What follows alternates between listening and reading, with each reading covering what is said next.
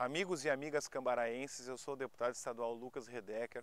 Quero pedir o apoio para o Josias, nosso candidato a vereador do PSTB, número 45777, um jovem que está participando da política, que tem muito a contribuir com o município.